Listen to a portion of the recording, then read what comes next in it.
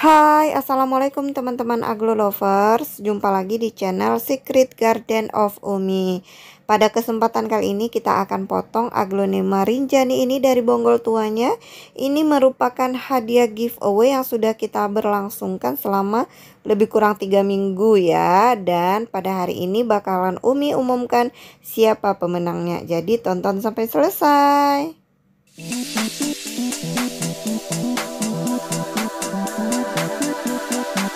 Sebelum kita lihat kondisi sekarang, kita review dulu yuk gimana sih kondisinya awal-awal dulu ya sebelum kita tanam.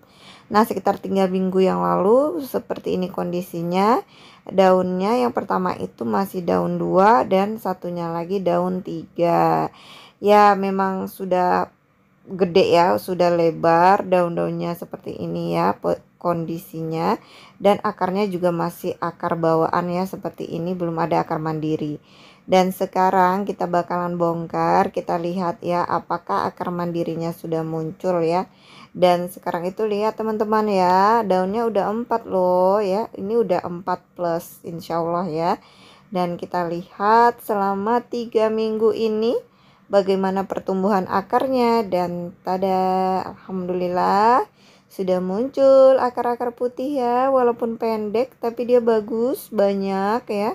Masih pendek ya karena masih tiga minggu ya. Nah tuh. Nah udah tumbuh akar mandirinya teman-teman alhamdulillah ya. Dan yang kecil juga udah tumbuh tuh ya. Nah itu dia kenapa kita harus botakin bonggolnya teman-teman supaya memicu akar mandiri di pohon barunya ya. Nah tuh. Alhamdulillah ya ini udah bisa kita panen ya. Bismillah ya. Nah ini bakalan kita panen. Sebelumnya kita siapkan rendam merendamnya di sini aku menggunakan cover liquid ya dengan 5 mili dengan setengah liter atau 500 mili air. Nah kita persiapkan pisaunya juga menggunakan pisau senjata secret garden umi tentunya ya Nah, tuh. Bagi yang mau pisau masih ada ya stoknya, tapi terbatas. Silahkan dihubungi aja di deskripsi ya. Dan ini mau kita lihat dulu korek-korek kondisinya seperti apa. Bonggol tuanya masih keras ya, belum ada busuk. Dan ini mau kita potong di mana, kita tentukan dulu ya. Nah, ini kita potong di sini saja ya karena di bawahnya tuh ada mata tunas tuh. Nah kita potong di sini. Bismillahirrahmanirrahim. Nah Alhamdulillah. Ya tidak ada spot. Ya bersih putih ya.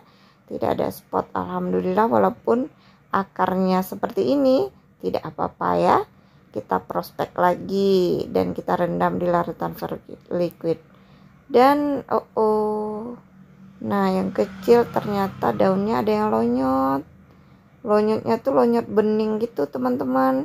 Sekilas nggak kelihatan tapi dia udah banyak tuh. Udah lonyot berair ya. Ini harus kita lepas dulu daunnya. Semoga tidak terjadi apa-apa ya. Cuma daun doang ya. Semoga aja ya. Nah tuh lonyot ya. Dilepas daunnya dan kita korek-korek lihat kondisinya. Alhamdulillah nggak ada masalah. Kita potong saja. Bismillah Nah, alhamdulillah tidak ada spot ya, berarti cuma lonyot daun aja.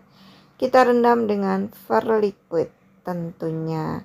Dan bonggol tuanya ini kan masih ada tuh bekas potongan yang masih ada uh, mata tunas aktifnya. Jadi ini yang kemarin kita sisain akar putih, sekarang kita ini kita botakin ya. Nah, setelah itu kita rendam dengan larutan verliquid selama lebih kurang 30 menit. Setelah 30 menit, sekarang kita angkat ya. Seperti biasa tentunya kita lap ya permukaan dari yang sudah kita potong ya sampai kering ya, teman-teman. E, fungsinya apa? Saat kita nanti oles salep penutup luka, dia cepat kering salepnya dan cepat menempel ya. Nah, tuh baru kita oles dengan penutup luka. Tuh, kita tunggu agak kering atau menempel sudah oke okay ya. Selanjutnya ini ya, semoga ini juga bertahan dengan baik. baby yang satu ini ya nah tuh ya alhamdulillah sih nggak ada spot. Cuma dia tadi ada lonyot. Ini juga kita beri salep penutup luka. Ya kita tunggu sampai sedikit uh, mengering atau sampai dia lengket ya. Dan begitu juga dengan bonggol bala-bala. Bonggolnya ini uh, kita ikhtiarkan saja ya. Karena ada bekas potongan juga itu masih ada mata tunasnya ya. Semoga bisa menghasilkan anakan juga. Kita mah ikhtiar aja ya teman-teman. Kalau enggak ya udah enggak apa-apa juga ya nah ini udah kita oles dengan salep penutup luka By the way ini sepertinya buat siapa pun pemenangnya nanti ini nggak bisa langsung dikirim ya teman-teman. Tetap kita tunggu masa karantina, masa perawatan baru bisa dikirim ya karena rawan banget. Kalau misalnya uh, habis dipotong ini walaupun akarnya sudah ada itu dikirim langsung itu malah cari penyakit kita namanya. Nah ini kita tanam ya kasih pupuk slow release dan kita tanam dengan fermentan baby. Ini aku pakai fermentan yang bekas kemarin aja ya karena kemarin kan baru tiga minggu. Dan masih bersih masih aman tidak ada penyakit insya Allah ya. Jadi kita tetap bisa menggunakannya. Itu dia enaknya pakai fermentan teman-teman ya. Salah satu kelebihannya tuh aku jarang membuang-buang uh, ini bekas tanam aglonema ini yang fermentan ya Nah ini dia Alhamdulillah ya udah empat daun. Semoga tumbuh subur dan siapa pun yang mengadopsimu nanti semoga subur di sana ya. Dan ini juga yang anakannya ini yang si kecil ini yang kena lonyot kasihan banget ya sisa satu daun plus. Semoga juga bisa sehat dan tumbuh dengan baik. Nah ini kita tanam seperti biasa ya teman-teman. Fermentan baby ini tuh udah ampuh banget dan numbuhin akar sama uh, nambah nutrisi gitu. Dia nggak cuma numbuhin akar teman-teman. Dia juga memberi nutrisi yang baik saat akar-akar itu ditumbuhkan gitu. Nah tuh. Ya dan si bonggol bala-bala juga ya kita tanam. Ini aku menggunakan fermentan biasa aja ya lebih hemat. Ya nah ada yang tanya untuk yang baby-baby apakah semuanya pakai fermentan baby? Baik bagus banget. Kalau misalnya semuanya pakai fermentan baby. Cuma kan fermentan baby dari segi harga itu lumayan ya. Nah kalau aku sih lebih pilih-pilih kasih sedikit gitu. Mana aglo-aglo yang di prospek nah itu pakai fermentan baby. Jangan lupa disiram kucur ya sampai dia basah dan jenuh ya medianya. Nah ini trik banget cahaya mataharinya tapi ini cahaya matahari pagi bagus banget ya. Seger gitu teman-teman. Nah setelah kita siram kucur jangan lupa juga disiram dengan larutan verdicoid nah bismillah ya semoga tumbuh subur semuanya dan kita bakalan mengumumkan pemenang giveaway kita ya. Dan semoga sepertinya kita sudah tahu siapa pemenangnya. Karena di sini bukan untung-untungan ya. Nah, kita lihat di video giveaway-nya. Ya ada di video ini ya. Ada 2500-an views. Lumayan ya. Dan ini dia syaratnya ayo siapa yang tidak membaca syarat di deskripsi, di deskripsi ini padahal sudah saya cantumkan di deskripsi ya Nah, kita lihat dulu pemenangnya ya. Pemenangnya adalah Om Terry ya, Om Terry Smith mendapatkan 200 like dan 49 komentar. Ini luar biasa perjuangan Om Terry ini. Aku tahu bagaimana perjuangannya mengumpulkannya ya. Dan kita lihat lagi uh, syaratnya apakah Om Terry ini sudah memenuhi syarat. Subscribe channel ini nanti kita minta uh, ini ya. Uh, screenshotan uh, bukti dia sudah subscribe.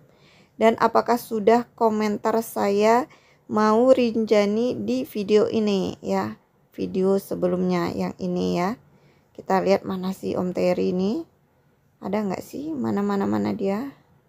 Aduh kok nggak kelihatan? Ayo kalau misalnya Om Terry ini tidak memenuhi syarat kita pindah ke yang terbanyak nomor 2 ya. Dan kita lihat ini yang terbanyak nomor 2 dia udah buat ya Kak Ardian Syah tadi ya. Mana nih Om Terry? Apakah tidak ada? Tidak ada kah komennya di sini? Ayo mana komentar Om Terry? Tidak adakah?